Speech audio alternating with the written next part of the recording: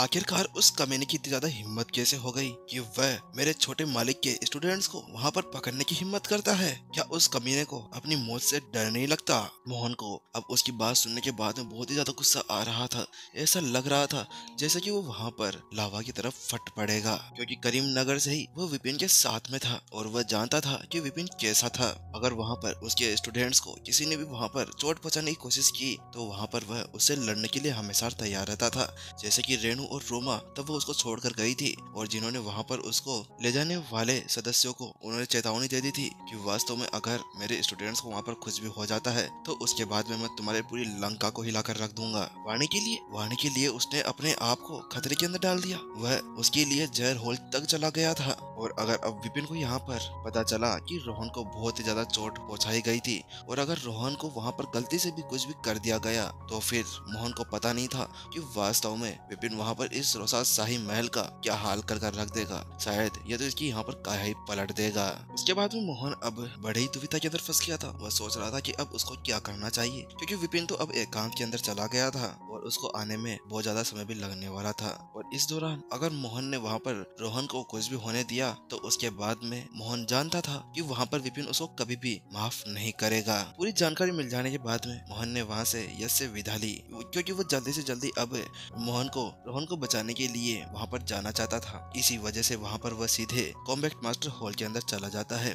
Head दरसत अब आपको कुछ करना पड़ेगा, क्योंकि यहाँ पर अभी छोटे मालिक के स्टूडेंट को यहाँ पर अगवा कर लिया गया है और वह अभी सुल्तान के कब्जे के अंदर है। और आपको जल्दी से जल्दी मेरे साथ में कुछ लड़ाकू मास्टर्स को भेजना होगा, ताकि मैं वहाँ जाकर रोहन को बचा सकूँ। हालाँकि वहीं उसकी वो बात सुनने के बाद में दशरथ का भी यही हाल था। हालाँकि वो उससे कहता है कि मुझे माफ़ करिए, लेकिन मैं इसके अंदर कुछ भी नहीं कर पाऊँगा, क्योंकि इसके लिए मुझे सबसे पहले मास्टर टीचर पवेलियन के अंदर सूचना देनी होगी। क्योंकि मैं अगर यहाँ पर कैसे भी कदम उठा के उनके ऊपर कोई भी कार्रवाई कर देता हूँ तो उसके बाद में कुछ भी हो सकता है।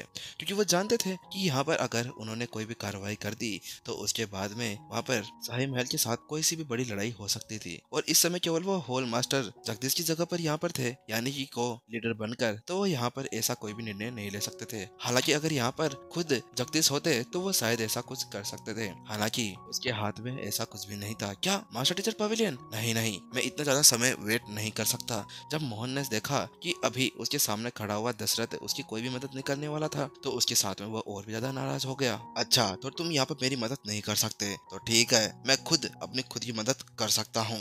इसके बाद में अब मोहन वहाँ से निकल चुका था, क्योंकि वो जानता था कि अगर ये यहाँ से मास्टर टीचर पवेलियन के अंदर जाता है तो वहाँ पर जाने के बाद में भी ऐसा ही कुछ होने वाला था। क्योंकि हेड आदर्श और जगदीश दोनों दोनों बाहर गए हुए थे और उनके ऊपर ही वो केवल विश्वास कर सकता था इसी के साथ में। अब मोहन के पास में कोई और चारा नहीं था कि वह खुद का रास्ता खुद ही निकाले। जल्द ही वह कॉम्बैक्ट मास्टर हॉल से बाहर निकल जाता है और वह सीधे कॉम्बैक्ट मास्टर हॉल के जहर के मास्टर के पास में चला जाता है।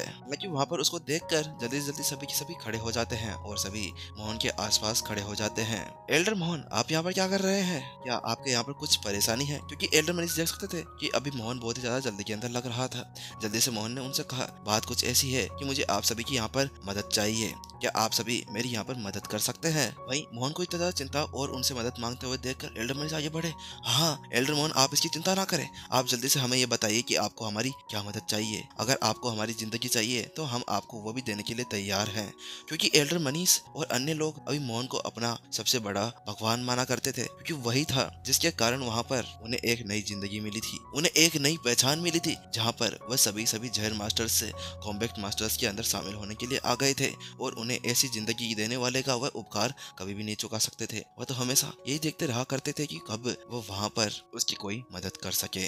उसके बाद में मोहन सीधे अपने विषय के ऊपर आ जाता है, क्योंकि उसको पता था कि उसको वहाँ पर ज़्यादा समय नहीं मिलने वाला था। क्या पता वहाँ पर रोहन को कुछ हो जाता तो वह फिर वह अपने छोटे मालिक को कैसे जवाब देता, क्योंकि वो अकेला तो ऐसा कुछ कर नहीं सकता था। इसी वजह से एकमात्र चारा था कि वह यहाँ पर इन सभी के साथ में काम कर सके। उसके बाद में मोहन ने वहाँ पर पूरी कहानी बता दी कि आखिरकार वहाँ पर चल क्या रहा था। हालाँकि उस बात को सुनने के बाद में सभी का गुस्सा भड़क उठता है। क्या क्या कहा आपने? क्या वहाँ पर यंग मास्टर रोहन को वहाँ पर पकड़ लिया गया है? वो भी उस तुच्छ सम्राट के द्वारा। उस कमीने ने अब हदे पार कर दी है कि मोहन ने वहाँ पर अब वह सभी चीज़ें बता दी थी जो वहाँ पर यश ने उसे बताई थी। उसके बाद में एल्डर मनीष उसे कहते हैं, क्या आप ये चाहते हैं कि हम सीधे उस महल के अंदर घुसकर वहाँ से रोहन को बाहर निकाल लाए? वह सम्राट का कुत्ता, वो पिल्ला कभी नहीं मानने बनने वाला। वहाँ पर राजा भद्र का मुझे पहले से पता था कि उस हरामी के पीछे उस सुल्तान का हाथ है, क्योंकि सुल्तान के बिना कहे वह राजा भद्र कुछ नहीं कर सकता था।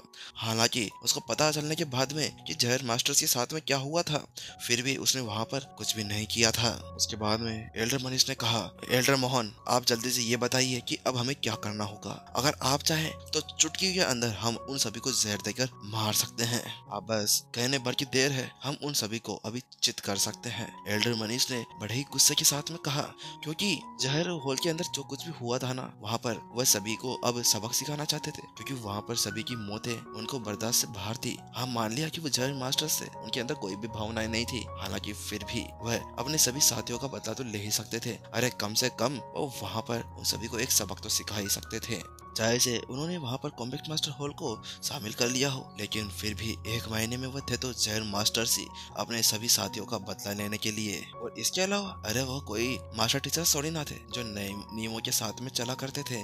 अरे, वह अपनी मन के कुछ भी कर सकते थे। आखिरकार वह कौन थे, जिनसे सभी मास्टर टीचर्स डरा करते थे? जहर मास्टर्स हालाँकि उन सभी के अंदर इतनी ज़्यादा गर्म जोशी को देखने के बाद में मोहन की आँखें भर आई, क्योंकि वास्तव में पहली बार जब वो उनसे मिला था, तब उसे ऐसा नहीं लगा था। हालाँकि अब उनका ये कृत्य देखकर कि किस तरह से केवल एक छोटी सी मदद के बाद में ये सभी उसकी साथ देने के लिए आगे आ गए थे, और उन्हें ये भी पता था कि वहाँ पर कितना ज़्यादा खतरनाक खतरा भरा हुआ था, लेकिन फिर भी ये पीछे हटने के लिए बिल्कुल भी तैयार नहीं थे। उसके साथ में वह अपने छोटे मालिक के बारे में सोचने लगता है। वास्तव में छोटे मालिक एक बहुत ही ज़्यादा अच्छे व्यक्ति है। देखो, इन्होंने कितने अच्छे दोस्त बनाकर रखे हुए हैं। इनके ये सभी दोस्त केवल एक बात सुनते ही ये सभी अपनी जान पर खेल कर वहाँ पर जाने के लिए तैयार थे। उन सभी की बातें सुनने के बाद में मोहन ने अपनी मुट्ठी ऊपर उठाते हुए कहा, ठीक है, अब हम वहाँ पर जाएँगे, लेकिन वहाँ पर जाने से पहले हमें सारी रणनीति बनानी होगी, क्योंकि हम वहाँ पर ऐसे तो घुस नहीं सकते थे। और वैसे ये सच बात भी थी, क्योंकि अभी वो जहाँ पर जाने वाले थे ना, वह एक महल था, जहाँ पर शाही परिवार रहा करता था। वहाँ पर कई सारे गठन, अगर वहाँ पर वो लापरवाही करते हैं तो उसके साथ में, उनके साथ में कुछ भी हो सकता था। इसी वजह से उन्हें एक एक कदम फूक फूक कर आगे बढ़ाना होगा। क्योंकि अगर उन्होंने ऐसा कुछ भी नहीं किया तो रोहन तक पहुँचने से पहले ही वह सभी पकड़े जा सकते थे। मोहन की बात सुनकर एक, मोहन की बात सुनकर एल्डर मनीष आगे बढ़ते हैं और वो उससे कहते हैं, जब राजा भद्र ने हमें वहाँ पर पकड़ा था ना तो उस समय उसने हमें बहुत सारी जहरीली जड़ी बूटियाँ दी थी और उसने हमें जहर बनाने के लिए कहा था। हालाँकि हम वहाँ पर उसकी बात नहीं माने और अभी तक भी हमारे पास में वह सभी जहरीली जड़ी बूटियाँ पड़ी हुई है। और अब हम सभी यहाँ पर कॉम्बैक्ट मास्टर्स बन चुके हैं, इसीलिए हमने अब तक उसका यूज़ नहीं किया। उसकी बात सुनने के बाद में एक दूसरा जहर मास्टर जो कॉम्बैक्ट मास्टर बन चुका था, वह आगे बढ़कर हुए कहता है हाँ हम इससे एक स्टेरिंग ब्रिज पाउडर बना सकते हैं। और इसके अलावा संस्थापक ने हमें वह औषधि जड़ी बूटियों का एक मैनुअल भी दिया था और उन्होंने नई साधना टेक्निक भी दी थी। इसका यूज़ कर कर हमारे पास में कोई और जड़ी बूटियाँ तो थी नहीं। इसी वजह से हमने इसको यहाँ पर बना भी लिया था और ये वास्तव में बहुत ज़्यादा अच्छा बना है। और अगर अब हमें रोहन को वहाँ से बचाकर बाहर निकालना है तो अब हम इसका उपयोग यहाँ पर कर सकते हैं। और ये एक अच्छा मौका होगा कि हम लोग ये देख सके कि वास्तव में ये पाउडर किस तरह से काम करता है। हालाँकि वहीं उसकी बात सुनने के बाद में मोहन बुरी तरह से असमंजस के अंदर पड़ चुका था। अरे क्योंकि उसको वो जहर के बारे में कुछ पता ही नहीं था। अरे वो तो विपिन था जो उसका भेष बदल कर वहाँ पर गया था। हालाँकि अब उसको पता था कि वह उनके लिए एक बहुत ही बड़ा इम्पोर्टेंट आदमी था। इसी वजह से वह ऐसा तो नहीं दिखा सकता था कि उसको वहाँ पर कुछ भी नहीं पता था। इसी वजह से उसने कहा तो ठीक है हमारे लिए ये बहुत होगा। लेकिन क्या तुम मुझे ये बता सकते हो कि आखिरकार तुम्हारे पास में कितना जहर पड़ा हुआ है? उसकी बात सुनने के बाद में वह मनीष उसको जवाब देता है हम्म हमारे पास में 500 किलोग्राम जहर पड़ा हुआ है। क्या? 500 किलोग्राम? वो बात सुनने के बाद में वहाँ पर मोहन के होश उड़ जाते हैं, क्योंकि वो जानता था कि अगर 500 किलोग्राम जहर का यूज़ यहाँ पर करते हैं तो ये पूरे रोसा सिटी को सुला सकता था। ठीक है, अब ये तैयारी तो हो चुकी है, लेकिन अब हम सबको वहाँ पर जाना कब चाहिए? मोहन ने उन सबसे कहा। उसके बाद में एक जहर मास्टर आगे बढ़कर आता है और वो कहता है एल्डर, मोहन, मुझे ऐसा लगता है की हम लोगों को रात के समय अटैक करना चाहिए, क्योंकि इन सभी ने, कमीनों ने भी हमारे ऊपर, रात के ऊपर ही अटैक किया था। उस समय हम सभी बिल्कुल आराम से बैठे थे, इस वजह से हमें वहाँ पर कोई भी प्रतिक्रिया करने का मौका नहीं मिला था। हाँ अच्छा ठीक है। हम लोग अब रात को ही निकलेंगे। उसके बाद में सभी सभी अब ऑपरेशन के लिए तैयारी करने लगे थे, क्योंकि अब ये एक खुफिया मिशन बन चुका था। इसके बाद में वह दो घंटा वेट करते हैं और दो घंटे बाद में सभी सभी चुपचाप वहाँ मास्टर हॉल से बाहर निकल आते हैं। हालाँकि जब वह वहाँ से बाहर निकल रहे थे तो केवल वहाँ पर सैनिक ही था, जिसको वहाँ पर पता था, जो वहाँ पर गार्डिंग कर रहा था। हालाँकि वहाँ पर मोहन ने उन्हें बता दिया था कि वो वहाँ पर बाहर घूमने के लिए जा रहे हैं और क्योंकि मोहन विपिन विपिन का बटलर था, इसी वजह से उसके अंदर इतनी ज़्यादा हिम्मत नहीं थी कि वो वहाँ पर कुछ कर सके हैं। जल्द ही अब वो रात के अंधेरे के अंदर चुपचाप महल के चारों ओर फैल जाते हैं और चुपचाप अंदर की तरफ़ घुसने लगते हैं। एक जगह पर पहुँचने के बाद में एल्डर मनीष कहते हैं, ठीक है, अब हम सभी को यहाँ से इस पाउडर को उड़ा देना चाहिए, क्योंकि यहाँ पर अच्छी हवा चल रही है और ये सीधा महल की तरफ़ बढ़ रही है। जो जहर उनके पास में था, वह वही जहर था जिसका यूज़ कुछ समय पहले वहाँ पर राक्षसों द्वारा किया गया था और वह सभी अभी एक निश्चित जगह पर पहुँच चुके थे और इसके अलावा वह यहाँ पर केवल महल के अंदर के लोगों को ही सुलान देना चाहते थे और इसके उपयोग किसी और अन्य व्यक्ति के ऊपर नहीं करना चाहते थे क्योंकि वो नहीं चाहते थे कि किसी मासूम को उनकी वजह से कोई चोट पहुँचे। अच्छा ठीक है जल्दी से शुरू करो। जल्दी ही वह पाउडर अब रात के आसमान के अंदर बिखर जाता है और सीधा पूरे महल को ढक लेता है।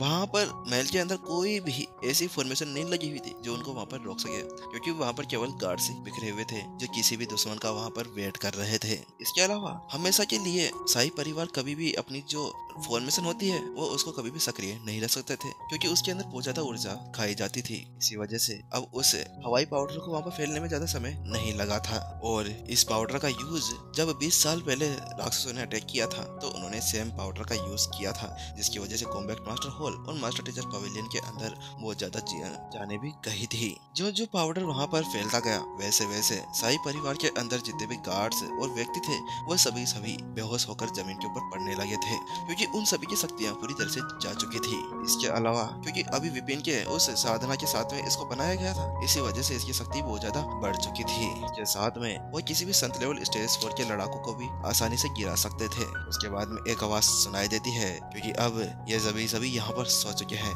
तो चलो चलते हैं। आज उस कुत्ते, कमीने सम्राट को हम नहीं छोड़ने वाले। आज हम उसको यहाँ पर नपुंसक बनाकर छोड़ेंगे। ये आवाज़ किसी और की नहीं थी, ये मोहन की थी, जो गुस्से से भरी हुई थी।